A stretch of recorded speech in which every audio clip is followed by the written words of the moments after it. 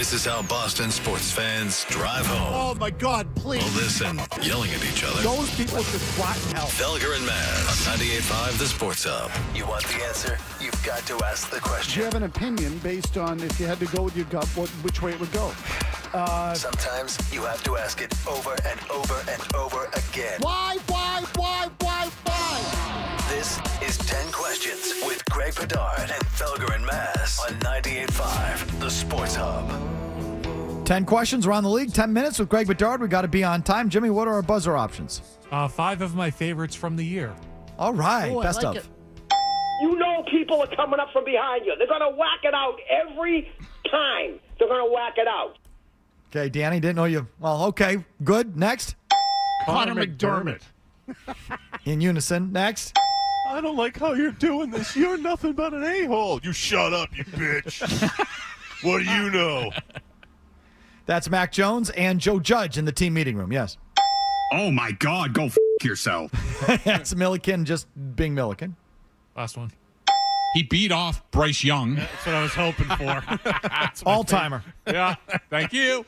You wonder why Alabama is Alabama? He beat off Bryce Young. Exactly. I They always get come up with one a year. some interesting uh, ways to settle the depth chart. Number ten, thoughts thoughts on Matt Patricia running the Eagles defense last night. I giggled when they gave up the, the lead late. But, uh, you know, from what I know, this was a Howie Roseman production that, uh, you know, Howie put him in.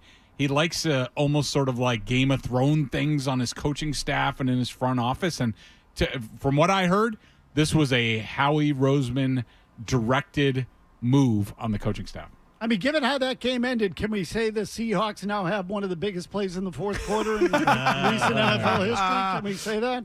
That Drew Lock picked up two third and tens on the game winning drive, including the one on the touchdown. And rather than GTFB, which again, that's what you need to be doing because they Yes. needed to score a touchdown, that slob had his corners playing man, including James Bradberry, who blows. He gets roasted. He rushes four. It was classic Matt Patricia. It was the best. I took such great joy because they kept panning the camera on that pig on the Eagles sideline as he was getting roasted by another backup quarterback. I'm like, this is going to happen again. And it did, and it was the best. They just got Patricia. Next, I don't like how you're doing this. You're nothing but an a-hole. You shut up, you bitch. other what than do the you fo- know? other than the 49ers, Greg, panel, do you believe in anyone in the NFC?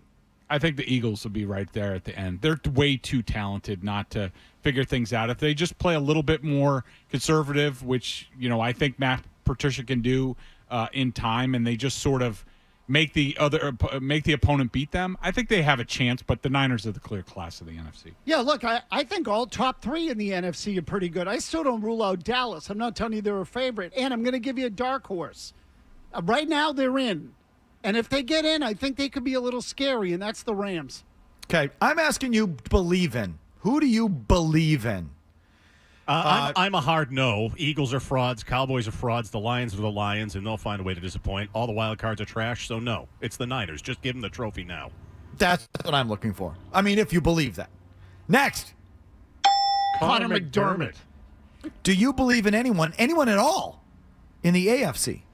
I like the the Dolphins and the Ravens, but no, I don't trust Miami's offense traveling in January, and I don't trust Harbaugh at all.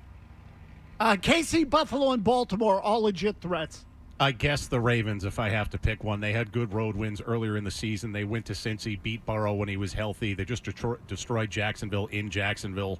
Lamar Jackson's healthy for once, so I guess Baltimore, but I don't feel great about it. Well, that doesn't sound like belief. Oh, then no- believe. Then no. Like I said, You give, believe in- give the trophy to the Niners now. It's over. That's it. That's the only team to believe in in the league, according to Murray. Next, Oh my God, go f yourself.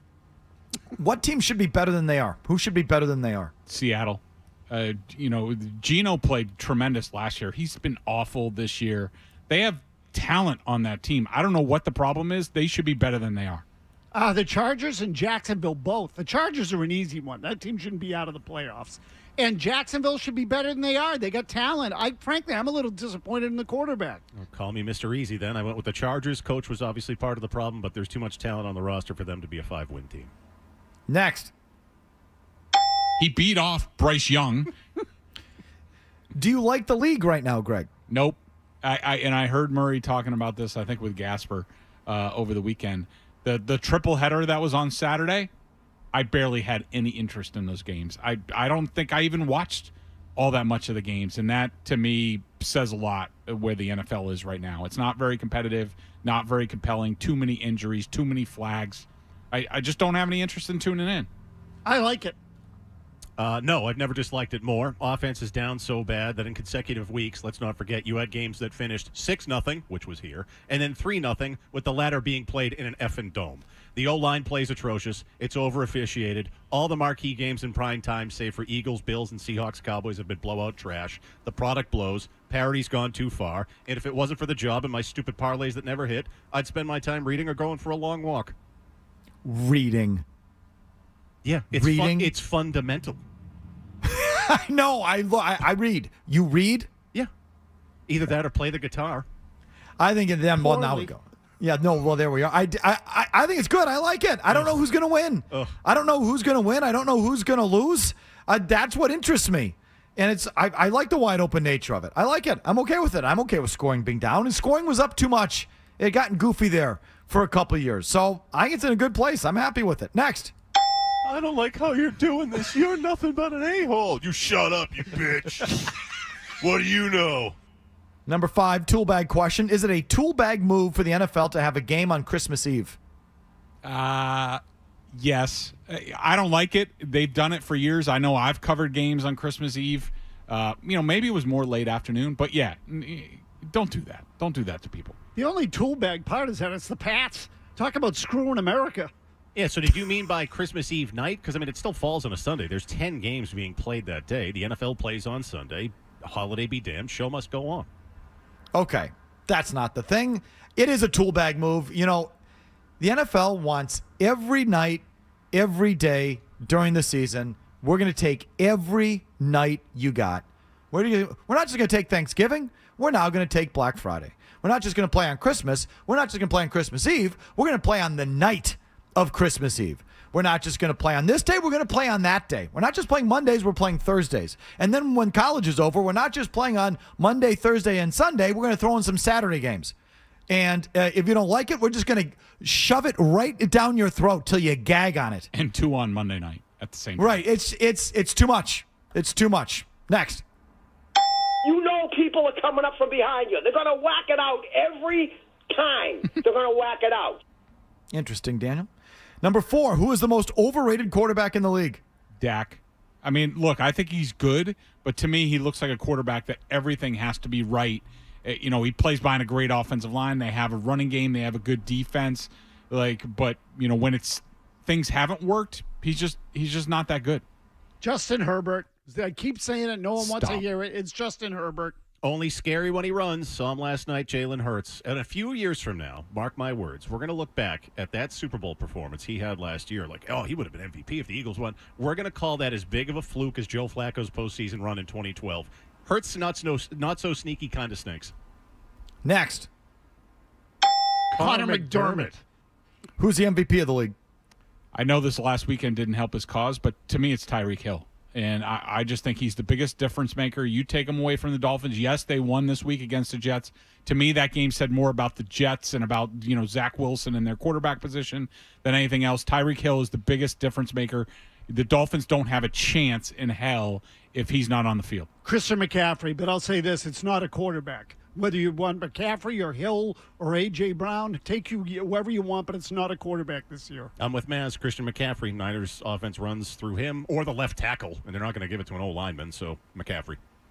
Uh, I think it is a quarterback, and I think it's so clearly Patrick Mahomes. It's not even funny. What what what is that? If they don't have Patrick Mahomes, Yep. do they have a winning record? I, I I know their defense is good, but they're hardly the only uh, good defense out there. There's a lot of good defenses. I mean, are, are, do they even have a winning record if it's not Patrick Mahomes? And they could be a Super Bowl team. I think it's him. Next. He beat off Bryce Young. Again, very interesting way to move up and down the depth chart there in Alabama. if Mike Tomlin moves on from Pittsburgh, where would be the best landing spot for him? And who would be a good coach for the Pittsburgh Steelers? Uh, for Tomlin, it would be Washington. He's from Hampton, Virginia. He went to William and Mary. It'd be going home for him. Uh, who would be good for the Steelers?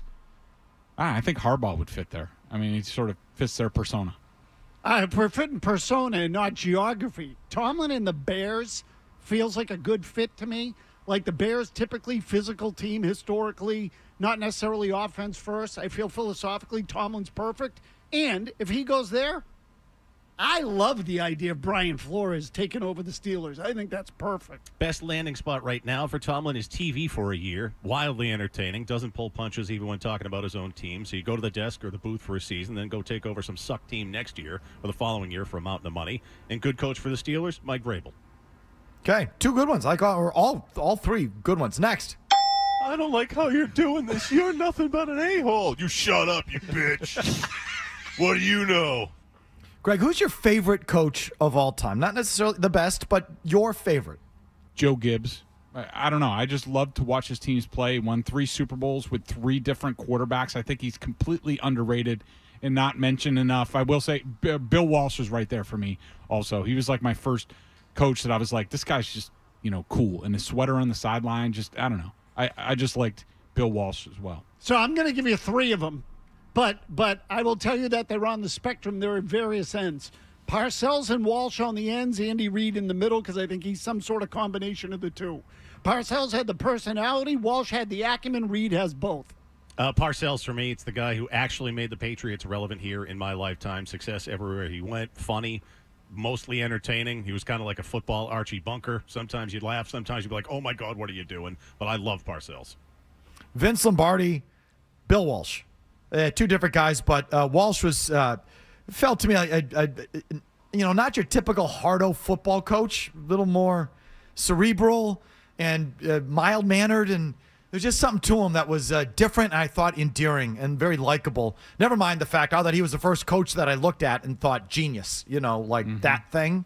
You know, that was him. And uh, Lombardi, I think, speaks for itself. Thus concludes 10 questions. Back to your phones right after Murray's update. He beat off Bryce Young